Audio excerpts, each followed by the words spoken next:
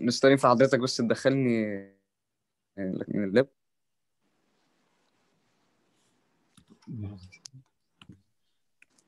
أوكي. أوكي جو اون أوكي polynomial function on a real life. Polynomials can also be used to model different situations, like in the stock market, to see how price will vary over time.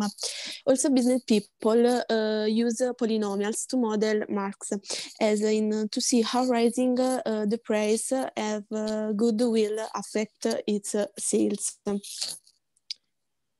Polynomials come up often in chemistry. These equations uh, relating diagnostic param parameters uh, can usually be written as polynomials, such as the ideal goal law. Mm, This, mm, Since polynomials are used to describe curves of uh, various types, um, people use them in the real world to graph curves. For example, roller coaster designers uh, may use polynomials to describe the curves in uh, their rides. Combinations of uh, polynomial function are uh, sometimes used in economics to uh, do cost analysis. Engineers use polynomials to graph uh, the curves of roller coasters and bridges. Uh, so as you said, the roller coasters are modeled by using this polynomial function and drawing as, as a picture. So that, that's what a roller- coaster is like. mm. Uh, and uh, although many of uh, us do not realize it, uh, people in all sorts of professions use polynomials every day, uh, like uh, mathematicians, and they can also uh, use it in fields ranging from construction to meteorology to detect the weather. Uh, although polynomial. Mm. Ah, uh, polynomials offer limited information, can be used in more sophisticated analysis uh, in more data, to more data. Uh, and last, eh, uh, the polynomials are used in physics to describe the trajectory of projectiles. And polynomials can be used to express energy, inertia, and voltage difference, to name a few applications only. Okay, thank you very much. بس الكويس بس التعليق الوحيد على ال- البروجكت ده إن إحنا مش بنعمل اكسبلانيشن له. إحنا كان ع- عايزين نعمل اكسبلانيشن يعني مش كده جاست ريدنج للي إحنا كاتبينه. إحنا عايزين نشرح للناس إحنا بنستخدمه في إيه. واضح الكتابة لكن الكتابة ممكن أي حد يقراها. لازم يكون كل واحد عنده وجهة نظر زيادة فيها. مين تاني هيقدم؟ آه، تمام ماشي. مين تاني هيقدم؟ امم طيب في حد ما بعتليش البروجكت على ال- الجروب؟ أنا عايز الجروب.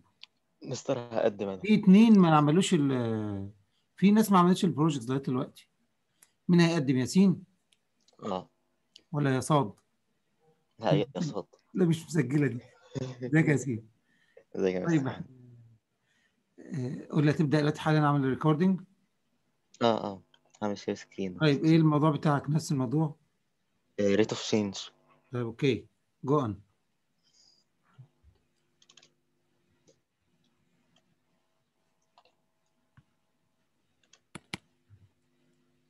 Uh, rate of change, uh, it uh, describes how uh, one quantity changes in relation to another quantity.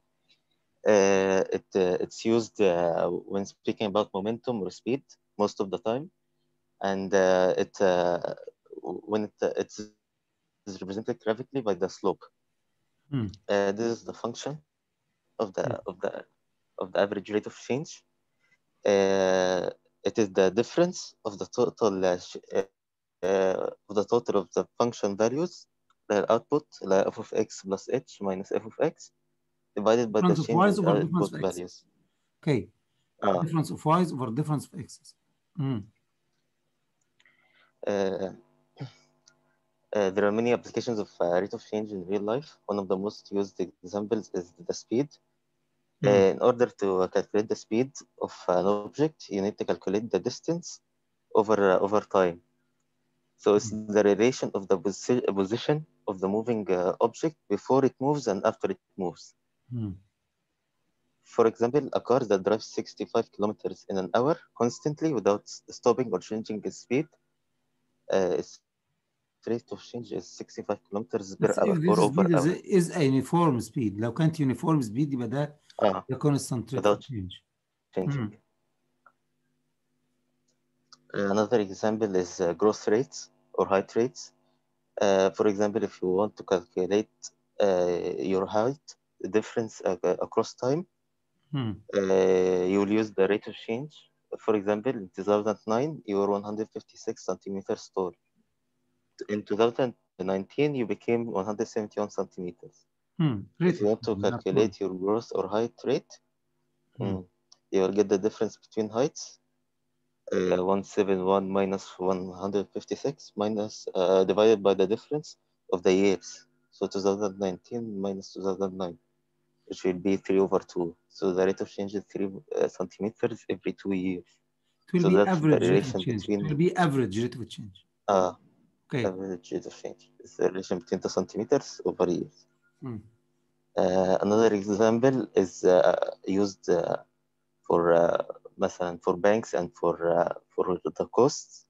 Hmm. Uh, for example, in uh, your account, uh, your bank account, uh, your money decreases by fifteen thousand dollars for every three years because uh, a college takes it, and for Hmm. four years it decreases twenty thousand dollars. So you Hmm. want to know how many uh, rate of change, how many it decreases each year. Hmm. So uh, you'll uh, sub- uh, get the difference between the cost, 20,000 minus 15,000, over the, the time or the year, uh, which is 4 minus 3, which should be $5,000 per year. Hmm. Have you finished? That's it. Okay, Ah. thank you. Thank you.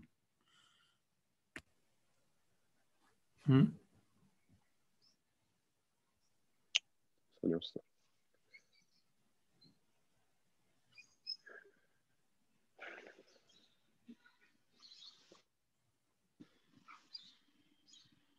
معلش يا ثانية بس هبعته طيب للبودة دي مثلا أو أي حد يفتحه من عنده عشان أنا فاتح عند function that uh, undoes the action of the another function. Uh, function g is the inverse, meaning opposite, uh, of a function if uh, uh, of a function f uh, if whenever y equal f of x, then x equal g of y. Hmm, In other Inverse words, function means, uh, then Yes. g, uh, excuse me, uh, uh, the inverse function, the function at and its inverse, both of them are reflected about the, the function, the identity function, which is y equals x, or f of x equals x. يعني the function and its inverse are reflected on the identity function. Okay? Hmm. uh, applying f and then g in the same uh, as doing nothing. Mm. Inversely related means two measurements move in the opposite direction when one changes. Hmm. Uh, this is an uh, easy way to find the inverse uh, of a function. Step Mhm. one, rewrite f of x equal as y equal. Hmm. Uh, step two, swap x and y. Uh, uh, meaning y equals uh, 7x minus 4 and x equals uh, 7y minus 4. Hmm. And then step three, solve for y, uh, and get it by itself without the the steps to find the, the inverse. We are using it by graphing the exponential and logarith- logarithmic function. Yes. Okay? This is the inverse function of uh, Mm, f of x equals uh, 7x minus 4. mm, Uh, applications in uh, real life of the inverse function. yes. Uh, uh, it's uh, the inverse function uh, relationship is also known as a negative correlation in regression analysis. This means that, that when one variable increases, the other variable decreases, Mm, and vice versa. mm, A typical example of this type of relationship is between the interest rates and the consumer spending. Mm, When the interest rates increase, consumers are less willing to spend and more willing to save.